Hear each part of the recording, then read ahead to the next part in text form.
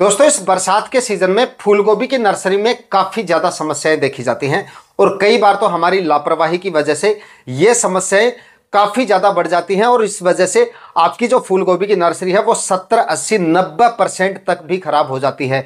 यानी कि देखते ही देखते चंद घंटों में आपकी जो पूरी कैरी है, वो बर्बाद हो जाती है। आज शाम को आप देख रहे हैं आपकी नर्सरी ठीक ठाक नज़र आ रही है। लेकिन अगली सुबह अगर आप देखेंगे तो पूरी ज़मीन पे आपको लेटी हुई मिलेगी आपकी नर्सरी। इस तरह की समस्याएँ काफ़ी ज़्यादा आती हैं और ये समस्याएँ बरसात के दिनों में सबसे ज़्यादा देखी जाती हैं। हालाँकि इस वीडियो में बात में सिर्फ़ फूलगोभी की नर्सरी करूँगा, लेकिन आपने चाहे किसी भी तरह की नर्सरी लगा रखी हो, चाहे बंद गोभी की लगा रखी हो, चाहे फूल की लगा रखी हो, चाहे टमाटर, बैंगन, मिर्ची, किसी भी तरह की अगर आपने नर्सरी लगा रखी है तो इस वीडियो में बताए गए तरीके से काम करेंगे। तो आपकी नर्सरी में किसी भी तरह की समस्या आपको देखने को नहीं मिलेगी। नर्सरी को डालना और उसको अच्छी तरह से तैयार करना इस मौसम में काफ़ी ज़्यादा मुश्किल है। ज़्यादातर किसान भाई सब्जियों की खेती करते हैं और जो नर्सरी वाली सब्ज़ियाँ उगाते हैं वो इस सीज़न में सिर्फ़ नर्सरी में फेल हो जाते हैं। अगर आपने कमज़ोर नर्सरी का प्लांटेशन कर दिया अगर नर्सरी प्लांटेशन के लायक नहीं है नर्सरी अगर आपकी बहुत ज़्यादा वीक है कमज़ोर है उसी नर्सरी को अगर आपने प्लॉट में ट्रांसफ़र कर दिया तो उसके बाद में आपका प्लॉट भी डाउन ही रहेगा। मतलब आपकी जो फ़सल है वो लास्ट तक आपको डाउन ही देखने को मिलेगी और इसके चलते उत्पादन जो है आपका वो काफ़ी ज़्यादा डाउन रह जाता है। और ये जो समस्या आती है इस समय पर ये फूल गोभी की नर्सरी नर्सरी में सबसे ज़्यादा देखी जाती हैं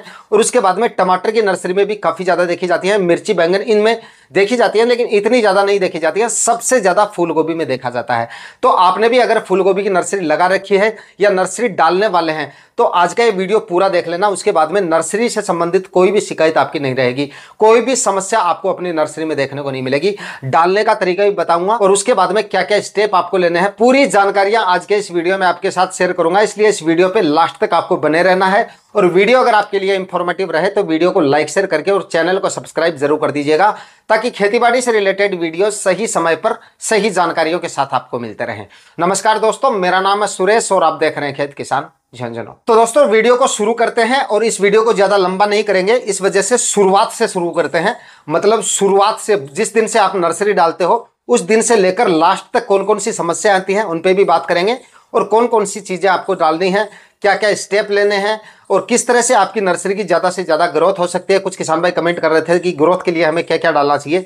तो शुरू करते हैं कि सबसे पहले जब आप नर्सरी डाल रहे हो तो सबसे पहला स्टेप आपको लेना है कि जब भी आप नर्सरी डालें बरसात के सीज़न में खास तौर पर। तो बेड पे ही आपको नर्सरी डालनी है, ज़मीन पर फ्लैट सरफेस पे बिल्कुल भी आपको नर्सरी नहीं डालनी है, और इस सीज़न में क्यारी में तो भूलकर भी आपको नर्सरी नहीं डालनी है।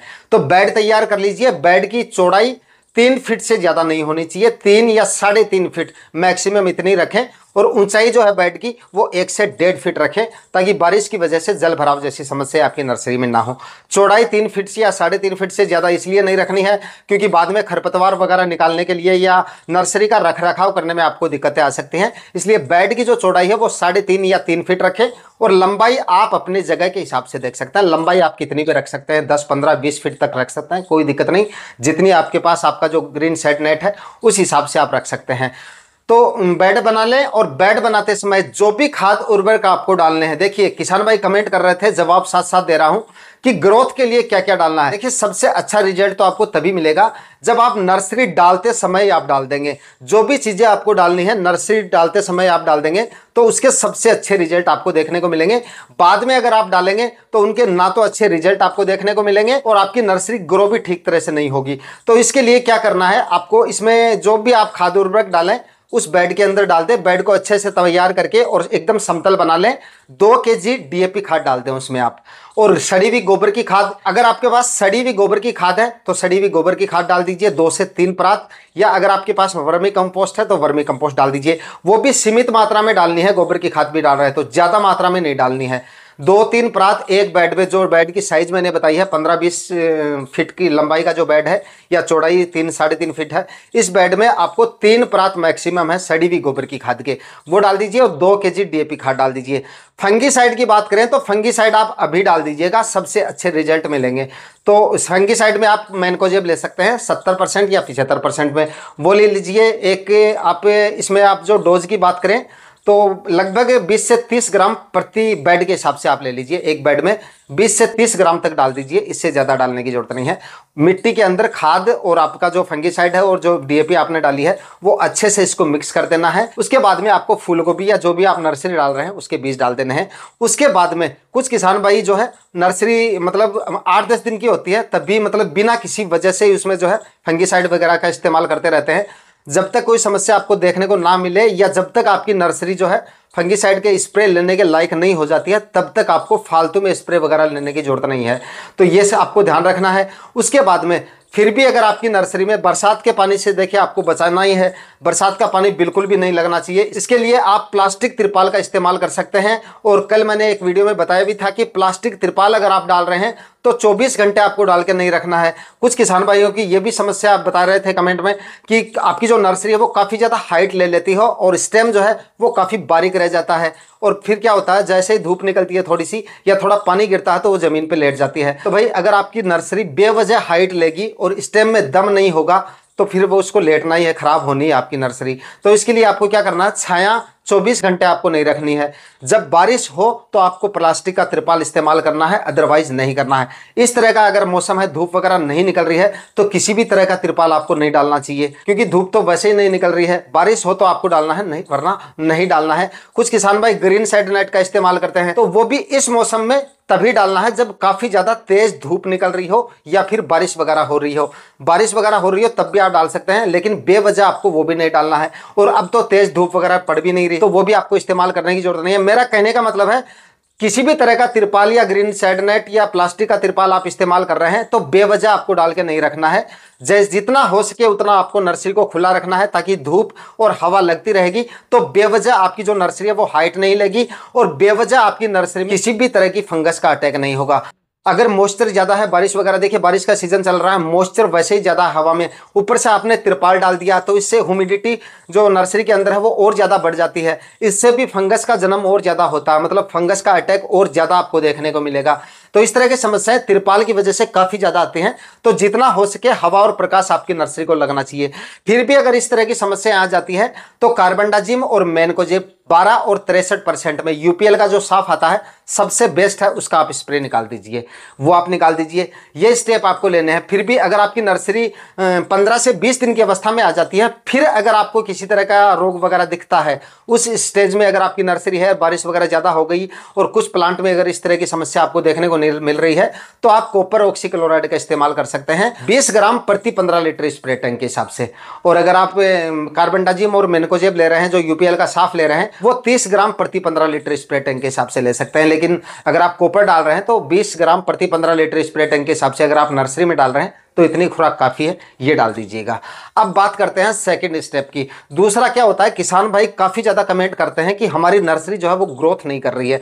तो मैंने आपको बता दिया था कि जो भी आपने डालना था वो आपको जो है आपकी नर्सरी जब आप डाल रहे हैं, तभी अगर आप डाल देंगे तो रिज़ल्ट इसके सबसे अच्छे आपको मिलेंगे। फिर भी अगर किसान भाइयों ने नहीं डाला है, ग्रोथ नहीं हो रही है, नर्सरी आपकी कमज़ोर है तो कैल्शियम नाइट्रेट का इस्तेमाल कर सकते हैं आप। यूरिया वगैरह भूल कर भी आपको नहीं देना है, या किसी भी तरह के पीजीआर वगैरह, कुछ किसान भाई कल कमेंट कर रहे थे कि नर्सरी में पीजीआर का इस्तेमाल कर सकते हैं भाई, आप नर्सरी का प्लांटेशन हो जाए, आपकी जो नर्सरी है वो प्लॉट में चली जाए और जड़े चलना उसमें शुरू हो जाए। मतलब व्हाइट रूट्स जब बननी शुरू हो जाती हैं, स्टेम सीधा खड़ा होना शुरू हो जाए उसके बाद आप किसी भी तरह के स्टेप ले सकते हैं, लेकिन नर्सरी में आपको इस तरह के स्टेप नहीं लेने चाहिए। सिर्फ़ कैल्शियम नाइट्रेट का इस्तेमाल कर सकते हैं, वो भी मैं आपको तरीका बता रहा हूँ। उतनी ही मात्रा में और उसी तरीके से इस्तेमाल करेंगे तो रिज़ल्ट भी अच्छे मिलेंगे और आपकी नर्सरी में कोई किसी भी तरह का नेगेटिव असर भी नहीं पड़ेगा।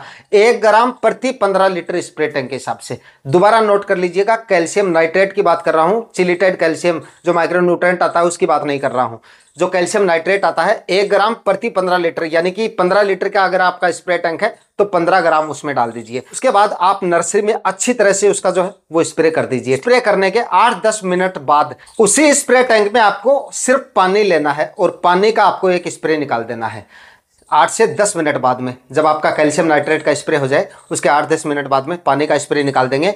तो पत्तों के ऊपर जो एक्स्ट्रा जो आपका कैल्शियम नाइट्रेट वगैरह आपने जो भी डाला है, पत्तों के ऊपर नहीं ठहरना चाहिए और ज़मीन पे वो चला जाएगा। तो जड़ों में मतलब ज़्यादा काम करेगा। जड़ों में ही आपको देना है एक तरह से। तो पत्तों पे मतलब वो नहीं रहना चाहिए। आठ दस मिनट बाद में वो साफ़ पानी से आपको उसका स्प्रे करके, ताकि जितना भी कैल्शियम नाइट्रेट आपने डाला है वो पूरा जड़ों में चला जाए। आपकी नर्सरी अच्छे से ग्रो हो जाएगी अच्छा आपको रिज़ल्ट देखने को मिल जाएगा। और बाकी किसी भी तरह के माइक्रो न्यूट्रेंट्स और पीजीआर वगैरह का आपको इस्तेमाल नहीं करना है। सिर्फ़ कैल्शियम नाइट्रेट, बताई गई खुराक आप डाल दीजिए। बाकी नर्सरी में इस तरह की समस्याएँ आ रही हैं, उसके लिए भी फंगी मैंने आपको बता दिए हैं।